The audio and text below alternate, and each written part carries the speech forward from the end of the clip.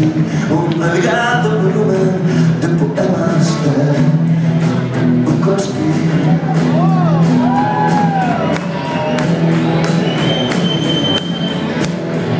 Y un